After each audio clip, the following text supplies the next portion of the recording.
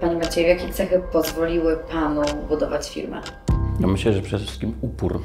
I, I upór, konsekwencja, wiara w to, co się robi, czyli takie przekonanie, że to jest dobra droga, takie wyciąganie wniosków z tych przeszkód, że ich e, pokonanie to jest kolejny sprawdzian i kolejny stopień do dążenia do jakiegoś celu i że to wszystko ma sens.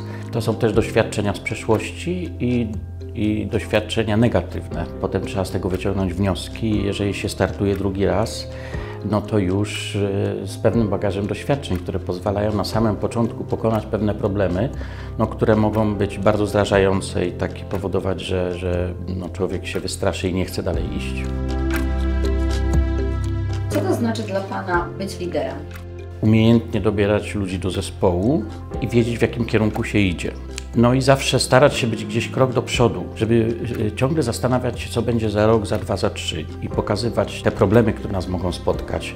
No i przede wszystkim, no, niestety to jest taka niewdzięczna rola e, lidera, ale w momencie, kiedy wszystkie oczy zwracają się w jego stronę, wiedzieć, e, jak rozwiązać problem pracując razem, zanim zaczniemy y, współpracować, ten czas pozwala odpowiedzieć na jedno pytanie: czy to, co jest najważniejsze w życiu, mniej więcej dla jednej i drugiej strony, to jest mniej więcej to samo, że najważniejszym w życiu nie mogą być pieniądze. To jest pierwsza podstawowa sprawa. My musimy wiedzieć, gdzie idziemy. Te cele muszą być wyraźnie wyznaczone i dosyć szybko musimy widzieć efekty tych, tych działań, bo jeżeli ich nie ma, no to trzeba natychmiast zmieniać strategię. Musimy cały czas brnąć do przodu i nawzajem dodawać sobie sił, bo wiemy, że działamy w interesie wspólnym, uzupełniamy się nawzajem i jest nam łatwiej.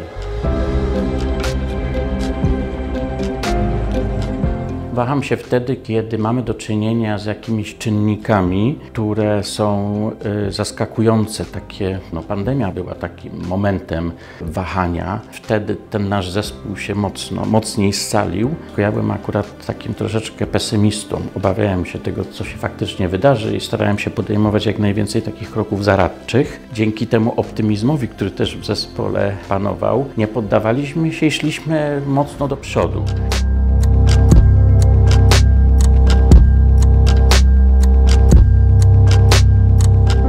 Cieszy mnie to, jak przychodzę do firmy z taką ochotą.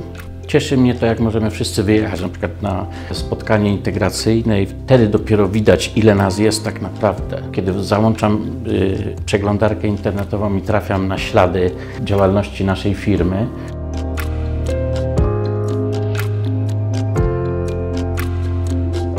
każdy człowiek, który, z którym którego spotykam gdzieś w życiu i on ma odegrywać jakąś rolę w moim życiu, to ja go obdarzę zaufaniem. Mniej jest takich sytuacji, kiedy się zawiodę, a dużo więcej korzyści z tego zaufania. Konsekwencja w działaniu, no i wiara w to, że to, co robię, jest y, dobre i że ludzi, którymi się otaczam, to są ci ludzie na właściwym miejscu.